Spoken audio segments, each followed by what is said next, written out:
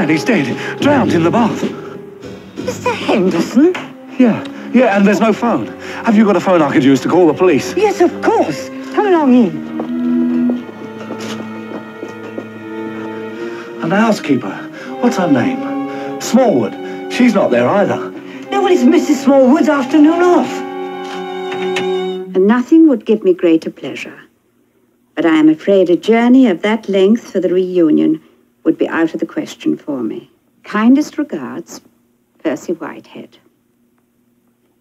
That's a very nice letter, sir. Uh, you might add Major in brackets. A fine bunch of men they were, Mrs. Warren. Sometimes I feel it was worth the loss of my sight to have known them, fought with them. And now I really must be going. Mrs. Warren, you know how deeply I appreciate your coming here on your afternoons off. Only too glad to do it, Major. Reading to me, writing my letters. I enjoy it. You'll miss your news broadcast. Huh? Uh, a few minutes yet. Mrs. Warren, I've tried other housekeepers, but none of them have the patience or understanding. Frankly, my daughter's a bit tired of coming in to look after me. I was wondering, Mrs. Warren... Now, you know I have another position, Major. Yes, I know, and I suppose it isn't really fair to try to lure you away. But I'd pay you two pounds a week more than whatever you get now. Not exactly a poor man. Well, I'll have to think about it, Major. Does it make such a difference to my life? Do you know, Mrs. Warren, I've even thought of taking a cruise on a boat, if I could find the right companion. A cruise, sir? I know it sounds odd, but for a blind man, the smell, the sound of different places is almost like seeing them. No, I meant a, a cruise costs a lot of money. That is my concern, of course. It's none of my business, sir, but I can't help wondering why you have bars on all your windows. Well, you see, I'm an old man, alone most of the time. It's merely a precaution. Very wise, sir. Goodbye, sir. You will think it over? Yes, I promise. And you won't forget to lock the door, will you, Mrs. Warren? No, I won't forget. That ends our afternoon program, Music from the Continent. Good afternoon, Mrs. Warren. Good afternoon, Mr. Teller. Uh, no, there's nothing for the Major this afternoon, today.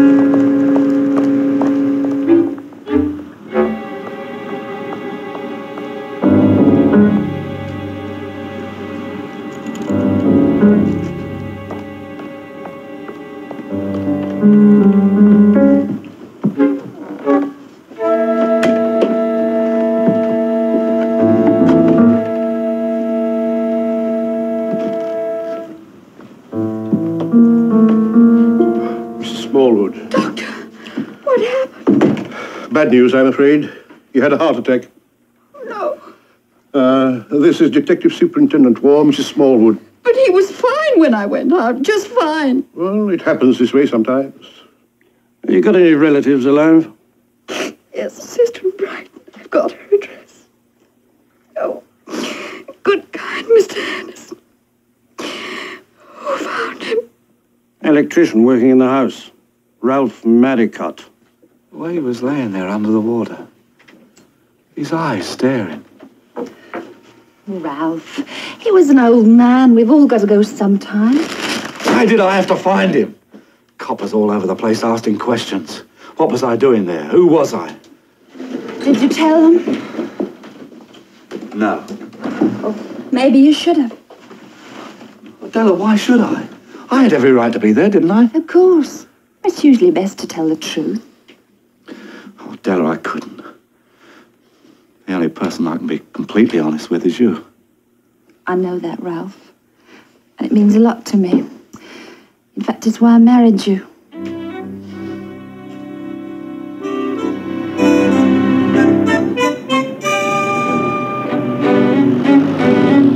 If this Dr. Wren signed Henderson's death certificate, why order a post-mortem? Well, the ambulance boys noticed something I missed. A few odd little bruises on his shoulder. Just what do you mean by odd little bruises? Well, like maybe somebody shoved him down under the water and uh, held him there. In which case your post-mortem will reveal death by drowning, won't it? It has, sir. That's why I'm here. Well, why didn't you say so at first? Well, I'm sorry, sir. Next of kin's sister, Jean Henderson, spinster of Brighton. Yes, she arrived this morning. Talk to her? Mm-hmm. Going straight back there now. Well, I'll come with you. I've got a call to make a division. Anyway, I'm always interested in spinsters from Brighton. Oh, by the way, sir, um, could I take a minute to check up in records on this electrician, Ralph Maricott? Well, why didn't you do that at first? Well, I have only just got here, sir. Any news about Nate Dempster? Not a thing. Took me three years to put Nate behind bars. He escapes in a laundry van. It's a nice, clean way to do it. That sort of remark can break a man back to a beat. Yes, sir. I'll check up on a Ralph Marriott. What's his address? Uh, 5 Elson Court. Let me know. Yes, sir. You're not seriously suggesting my brother was murdered? We're not sure. We're looking for a motive. Well, I don't know what it could be, sir. He kept himself to himself, hardly ever went out. Did your brother have any money, Miss Henderson? Oh, I think so. He had enough when he retired. Hardly spent anything. He's probably still got most of it. Did he have a bank account? I don't know, sir. Well, how do he pay you? Cash, sir, every Friday. Keep any cash around the house? No, sir. Well, I don't know. I mean, that's really not my business, is it, sir? No, no. But uh, it may be ours. Well, thank you, ladies. I'll just take a look around the house, if you don't mind. Of course. Help yourself. Check up on his bank accounts, if any. Well, you reckon he kept cash in the house then, sir? A lot of old people do, don't they? The builders know it. Yeah. You can't find any bank accounts, have the place turned over, top to bottom. Right, sir.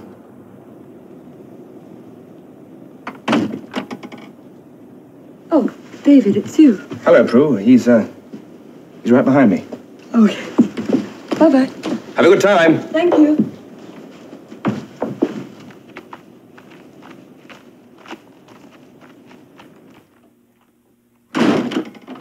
Hello, David. Hello. You're early. George isn't home yet.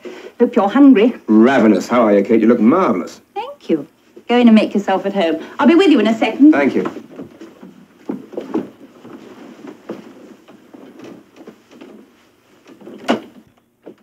Oh, hello, Matthew. Hi, David. What brings you here? Well, I was invited for dinner, if you don't mind. No date tonight? Well, as a matter of fact, I have, yes, after the last show at the Embassy Club. What's she like? Well, she's, uh, she's got taste, she likes good food, good music. Me, she's a very intelligent girl. I just don't know how you do it. You know, I had another uh, fight with Marion tonight. She says she never wants to see me again. Matthew, you're not handling her right. Well, what is the right way, David? First thing is to, uh, ignore them. Ignore them? That's right. Make them come to you. But how? A studied indifference. For instance, when you ask for a date, you want it for that night. Now there's two weeks ahead stuff. Real casual. That's right, real casual. Now, if they say they're too busy, you say, all right, uh, another time maybe. Don't forget the maybe. That frightens them. Then hang up quick. I will. From now on, I'm going to be a different man as far as women are concerned. Good luck. Oh, hi, Dad. Hello, Sam. Hello, George. Uh, David. Do you mind a little business for a moment? No, sure. That uh, electrician, Ralph Maricat, his real name is Johnny Fox. Johnny Fox. He's been inside a few times, hasn't he? Breaking and entering. That's him. Have you seen War? Mm-hmm. Not even one bank account in Henderson's name. Well, you'd better speak to Johnny Fox, hadn't you? All right, I'll drop it on him tonight. But not before dinner.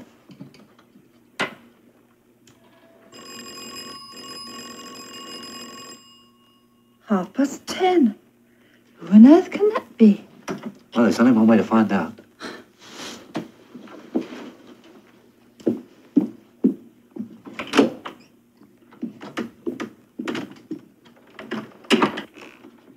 Mrs. Maricat, Yes. I'm Chief Inspector Keen, Scotland Yard. Is your husband in? Yes. uh, Come in. Thank you.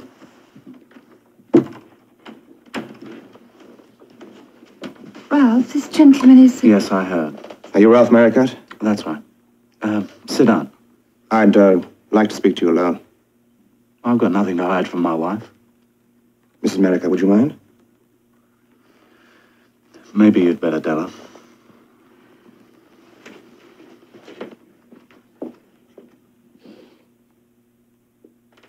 It's uh, about the death of Mr. Henderson.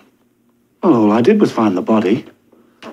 You ever heard of a man called Johnny Fox? I thought you'd be bound to dig that up. Well, I didn't know whether your wife knew. That's why I wanted to talk to you alone. She knows. Anyway, thanks for the consideration. We have nothing on you, Johnny. Ralph. Ralph. Just checking. Now, do you know if Henderson kept any money in the house?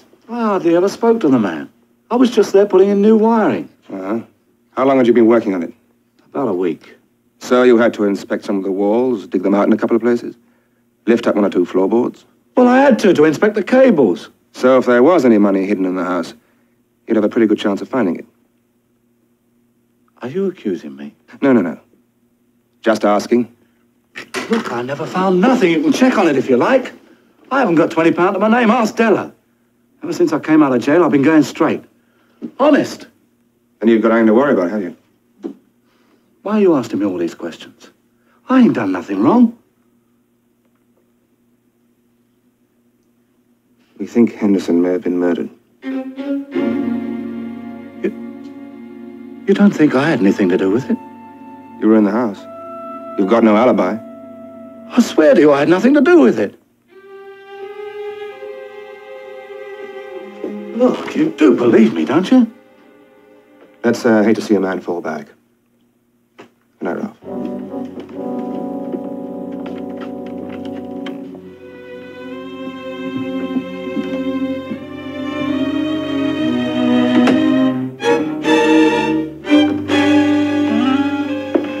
Della? What did he want? Trying to make out the old boy was knocked off for his money. And I've got no alibi, so they... Now listen. Look, since you came out, you've gone absolutely straight. You know it, and I know it. There's nothing to be afraid of. Look, Della, you get a record, it's like having a disease, and in the end it must kill you. Not us. Look, we'll make it. Oh, I wish I could get away. Somewhere where they've never heard of Johnny Fox. Like Australia. Australia. How do we get there? Do you know how much it costs to get to Australia? Della, the other night I met a bloke who's cleaning up on the docks. He gets some great tips. But darling, he turned 20 pounds into 200 in no, one Ralph, night. you promised. Look, that's how it started the last time. Gambling. You swore to me then never again. All right. I promise. Word of honor.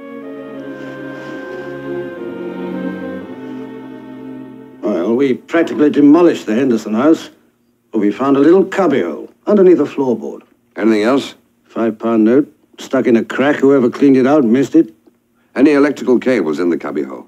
As a matter of fact, there was. David, I want a tail on Ralph Maricat and Martha Smallwood. That'll be watched 24 hours a day.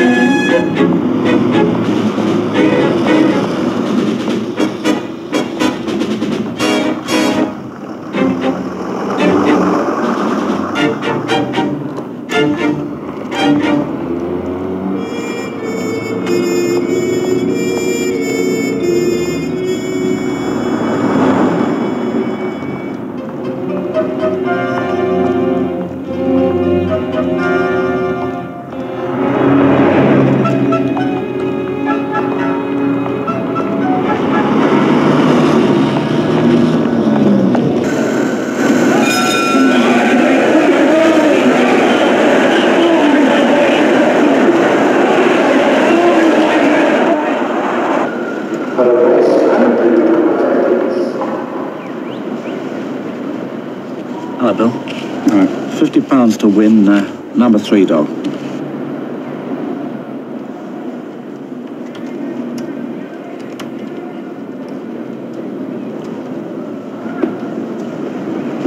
Johnny Fox. Detective Sergeant Archer. You come with me, please?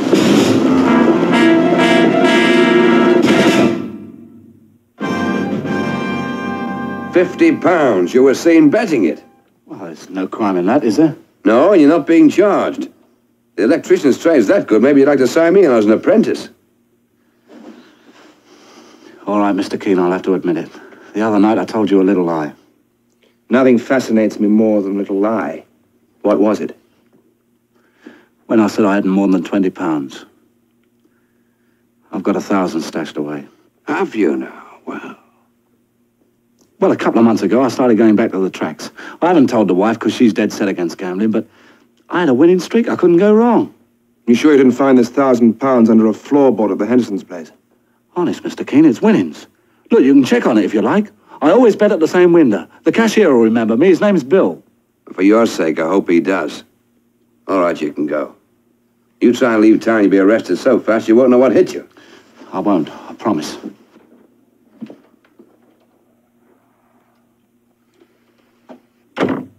What do you think? I believe him. But check it out. Anything new on the Smallwood woman? No. Barton's telling her.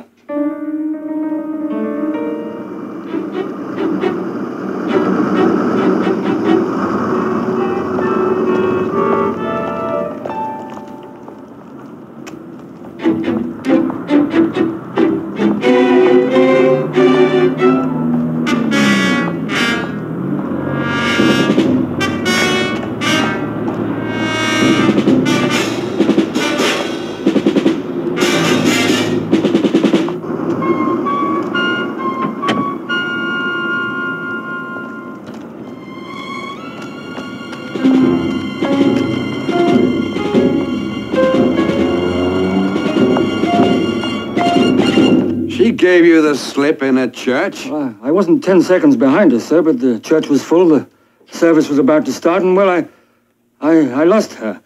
I'm sorry, sir. You should be. You think she gave you the slip deliberately? I don't know, sir. Well, she was innocent. She'd have gone back to the Henderson house, wouldn't she? I couldn't say, sir. You couldn't say. All right, that's all. Well, obviously, this isn't one of our most efficient weeks. Oh, she might have gone on a visit, gone to stay with a friend or something. Yeah, or killed old man Henderson and made a complete getaway. Gentlemen, if you have any lack of success to report, save it till later. For me, there's no such word as failure. Surprise me. I showed Ralph Maricot's picture to the cashier at the track. He confirms that Maricot won over a thousand pounds in the last two months. Which leaves us with Martha Smallwood. Who at present is lost in the sea of humanity. Lost? Yes, Barton fumbled.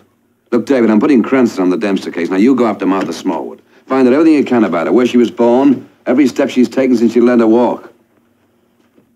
Mrs. Warren, Right here, sir.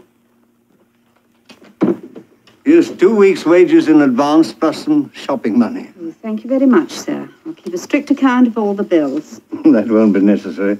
If I can't trust you, I can't trust anybody. Nice of you to say so, sir. Come here. There's a good dog. I must admit, though, there was a time when I trusted too much. A partner in my business, he almost ruined me. You mean he stole, sir? Yes, he cooked the books. I couldn't read the figures. I had to take his word for it.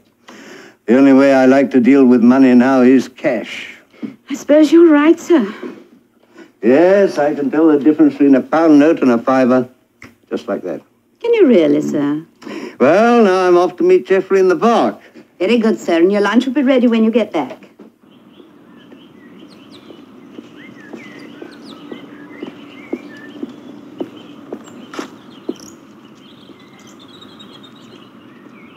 Percy. Here I am. Ah, Geoffrey. Good morning. Sit down. Now then, sit. Sit.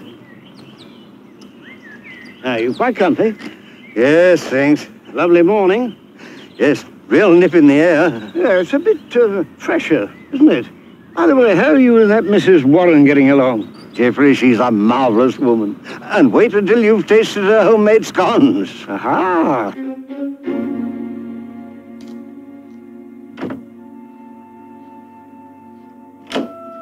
Darling. Lunch ready? No. It isn't? How did you get on with the police? Oh, all right. It was just routine. They know I didn't do it, so there's nothing to worry about, just like you said. I had an interesting phone call this morning Oh? from some man called Bill, Bill? the cashier at the White City dog track. Seems the police wanted to talk to him. They asked him some questions, showed him your picture. Naturally, he was curious. In fact, he was very worried. He, he wondered what sort of trouble you were in. Now, don't get upset. Thousand pounds in the last two months. Well, not exactly. You, you see, I... For pity's sake, don't hedge. You've been gambling all along, haven't you? Yes. And these night jobs twice a week. You were at the track, weren't you? Yeah. And this anniversary present, the track bought that. Well, where else do you think I get £120 for a watch? You liar! Take it easy, you'll break it. Look, I had a treble up on the local book, so I had to push my luck. So I dumped it on the dogs. You promised me you'd never gamble again. Never. I couldn't help it. You can't be honest with anybody, can you? Not even with me. Twice when you were inside, I waited, worked, saved money, wrote to you every single day. You promised me then you'd never gamble again. How Oh, leave me alone. Ella, you, you wouldn't walk out on me. Where would I go? We could make a fresh start. A thousand pounds is a lot of money. Australia. Just what would be so different in Australia? Give me another chance. I promise. Promise. You can do what you like. Stay out, come home, suit yourself. Because I tell you something, I just don't give a damn.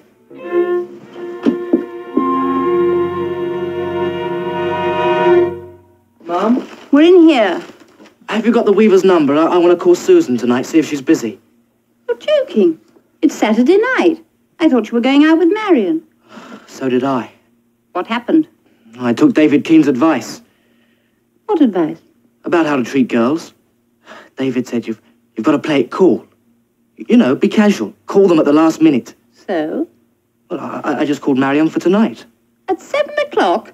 You asked Marion out on a Saturday night? Yeah. What did she say? She told me to drop dead. David, no doubt, would say that was an excellent sign that things were going swimmingly. Well, something sure went wrong. Somewhere. Somewhere.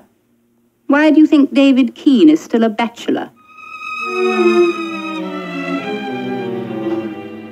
Your father died two years ago?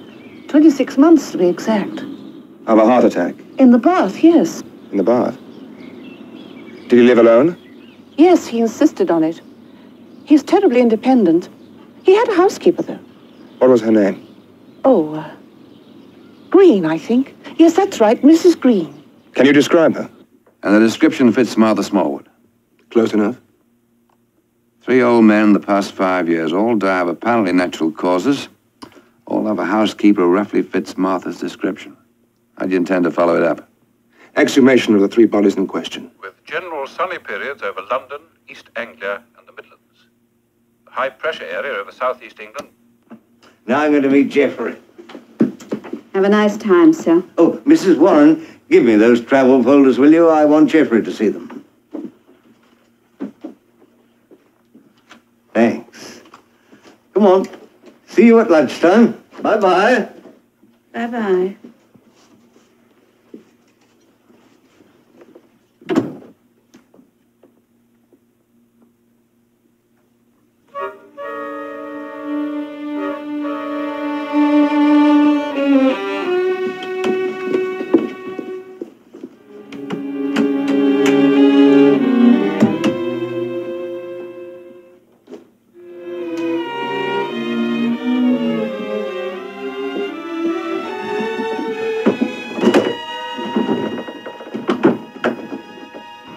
Now listen, Percy. After three sun-drenched days and moonlit nights in Puerto de la Cruz, a leisurely sail home. How much is that? 262 pounds each. Percy, you- you're not really going to take this woman with you, are you? Why not? But she's just a domestic. She takes care of me. But you really don't know anything about her. Oh, yes, I do. I can tell by her voice. She's kind and good and completely trustworthy.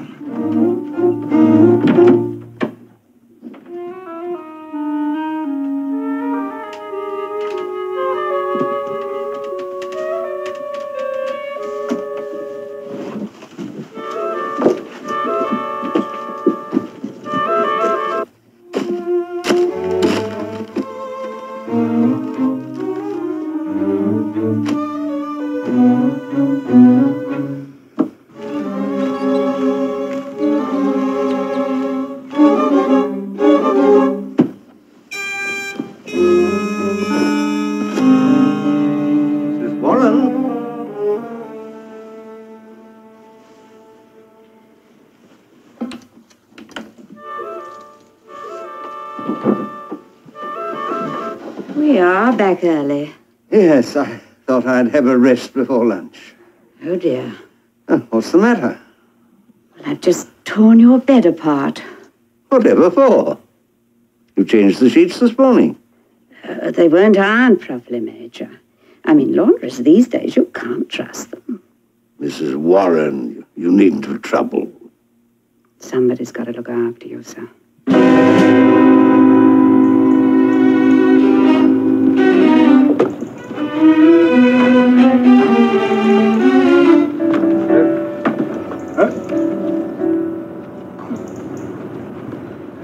The dead can't sleep peacefully these days. Sorry, Superintendent, but it may save someone his life. I knew old Charlie personally. The records say he died of gastroenteritis. But what if he'd been murdered? I'd hang his killer myself. Old Charlie's death certificate said gastroenteritis.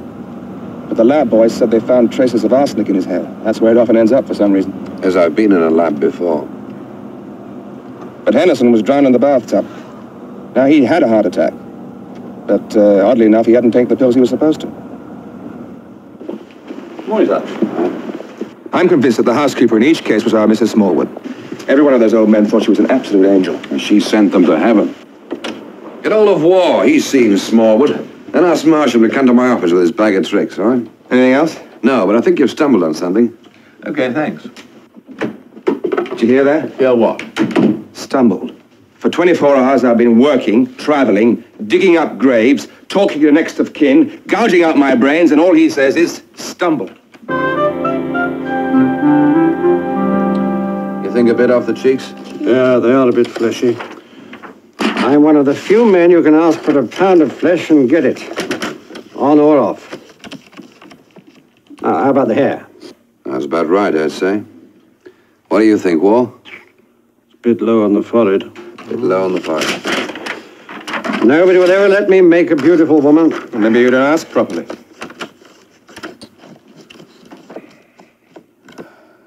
Well, she may well have disguised herself by now. I'd say that's it. Wouldn't you, War? Yes, I would. Right, David, lay on some heavy publicity. TV, radio, newspapers. We'll see if we can make a surface.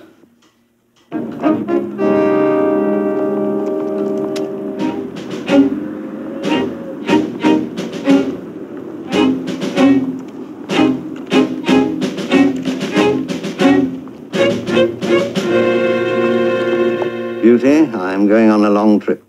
Mrs. Warren's coming with me. Will you miss me? Mrs. Warren, Good evening, sir. you've been such a time, I was worried. Well, I'm sorry, Major. I've had a lot of shopping. Never mind.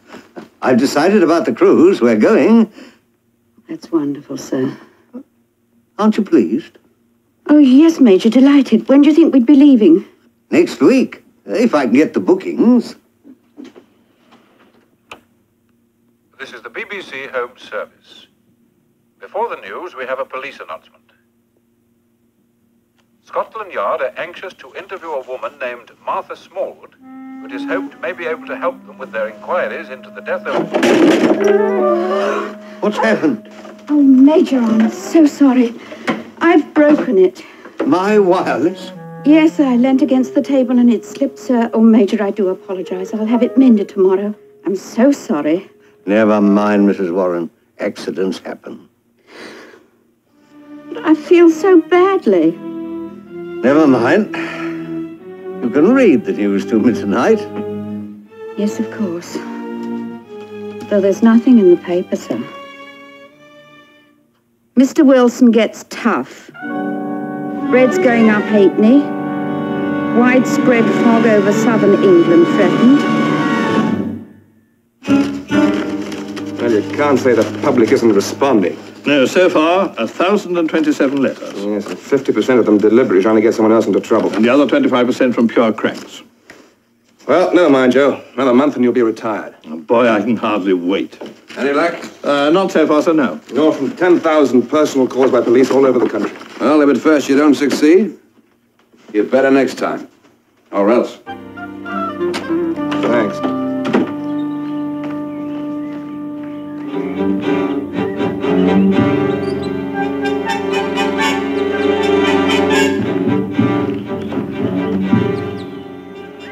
We're interviewing all the elderly gentlemen of the neighborhood, sir. So I wonder if you wouldn't mind telling me if you've engaged a housekeeper in the past few weeks. No, sir. No. Very well, sir. Thank you very much.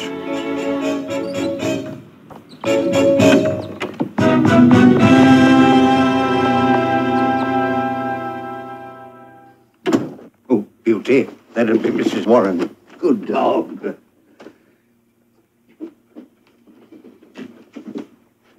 Oh, Mrs. Warren, is my wireless ready? No, sir, they can't repair it. They say it's too old.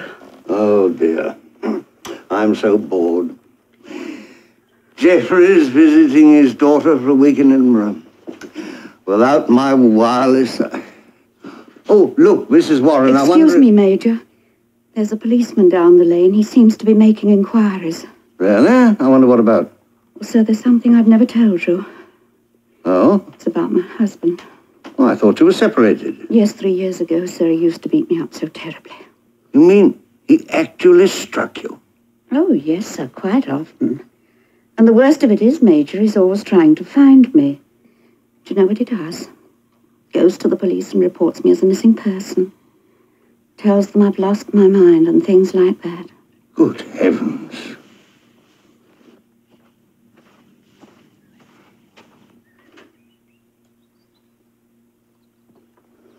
He knows I left my last position two weeks ago.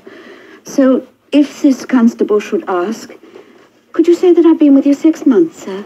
I mean, that would rule me out straight away, wouldn't it? My dear, of course I can do that. And would you say my name was Mrs. French? Don't you worry about a thing.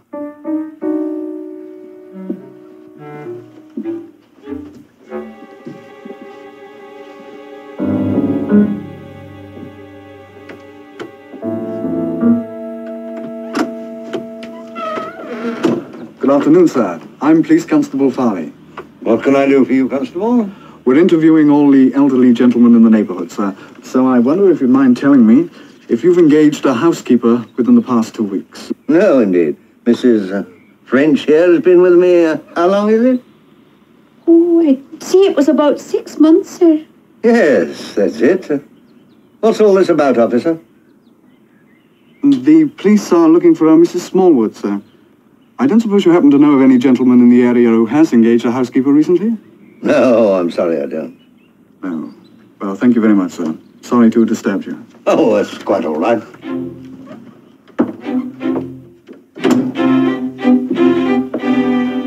Oh, thank you so much, sir. That's terribly kind of you. You're safe here, don't worry. Beauty, come on. Now, about my wireless. What exactly did they say? It's too old, sir. They can't repair it. Can't get the spare parts. Oh, I am sorry. I know how you miss it. Yes, especially with Geoffrey being away.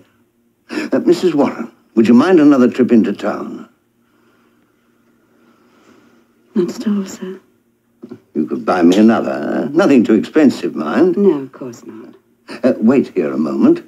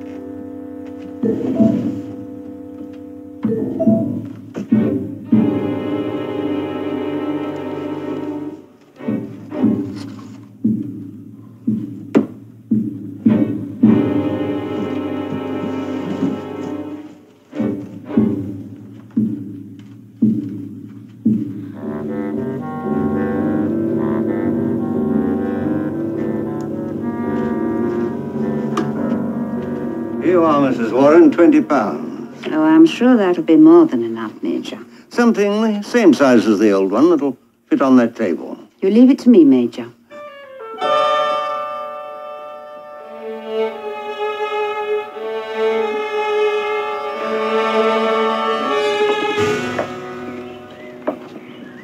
Good afternoon, Mrs. Warren. Good afternoon, Mr. Teller. Any letters for the Major? Yes, two. I'll drop them in the box if you don't mind. And who do you think's going to read them to him?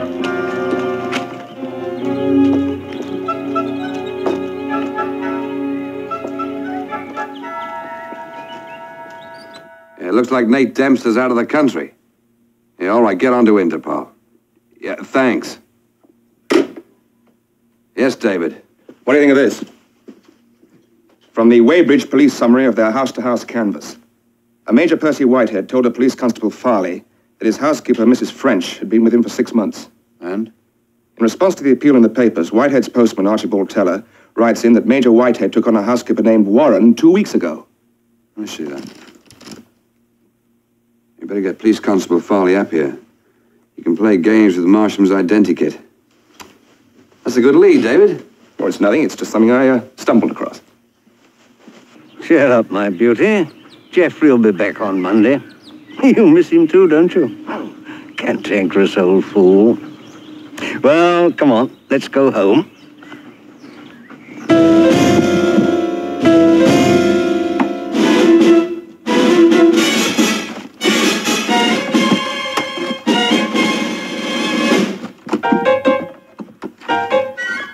Oh, there must be some more somewhere. Grey hair, you said? Rather soft waves. Yes, sir. It's awful close, sir. Do you think you could possibly give us some horn rim glasses, sir? Yes, of course. Have a look at these. Those.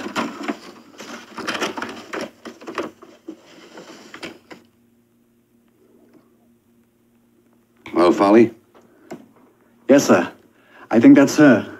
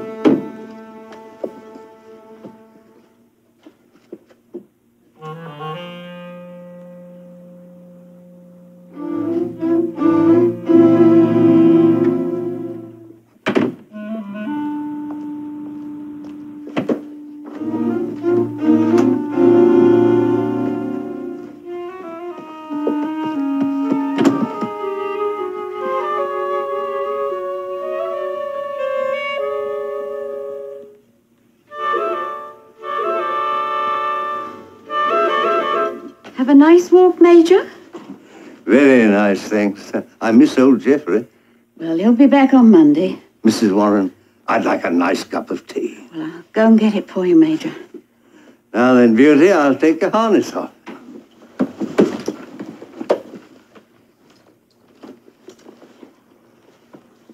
Strange.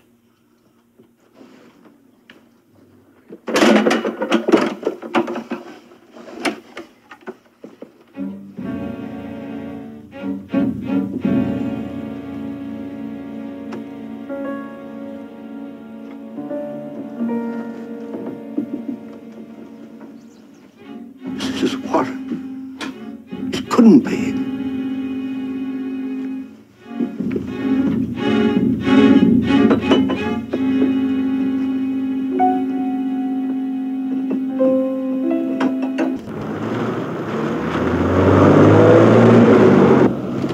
Shall we pick up Superintendent Wall? Yeah, it's on our way.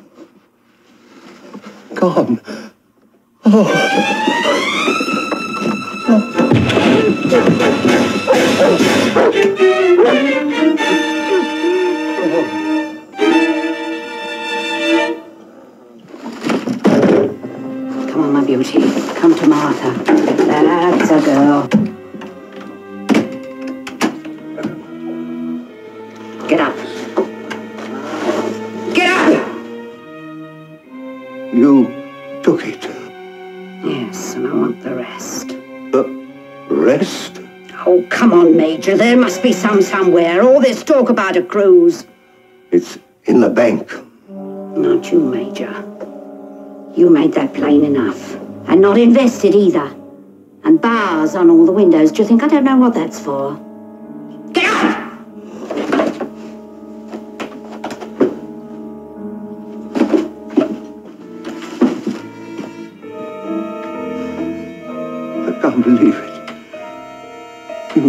So kind.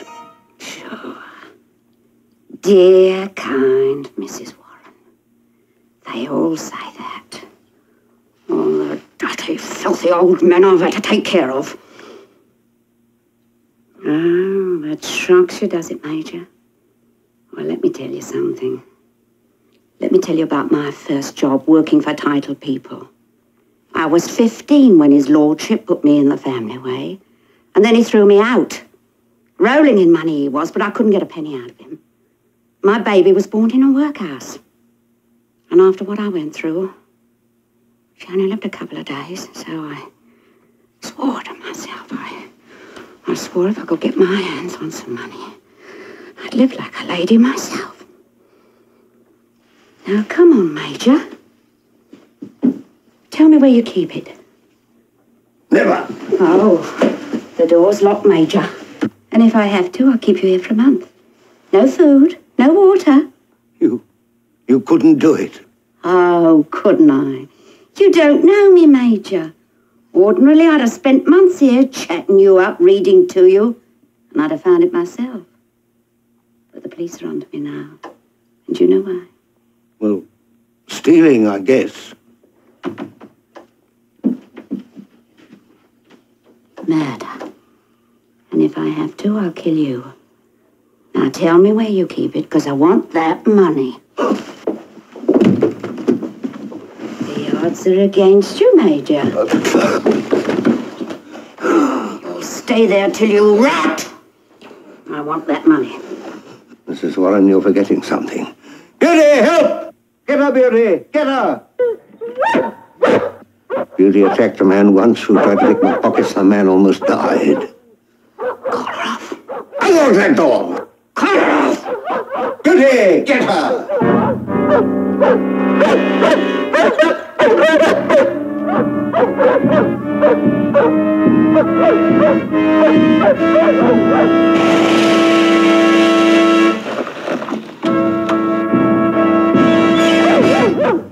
Feel that, Major? You don't think I'd use it, do you? Now call her off.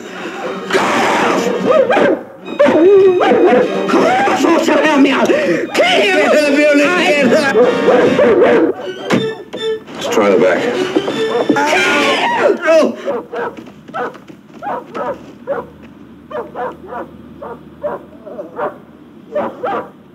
Get a doctor, quick. Right. Come on, David.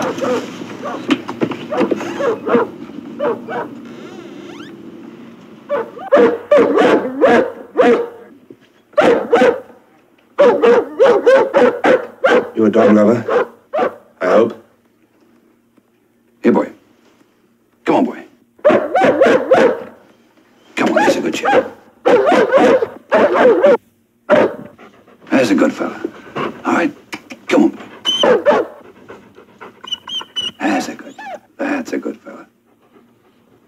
All right, that's a good fella. Come on, come on, boy. You'd make a fortune as a vet. I've done the dog work. Now you break down the door.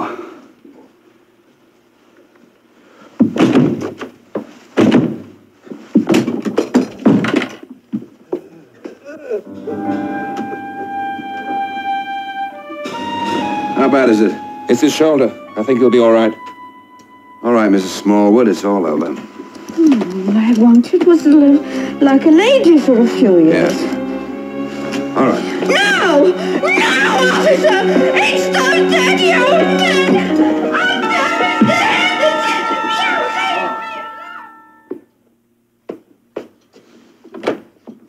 David. Come here.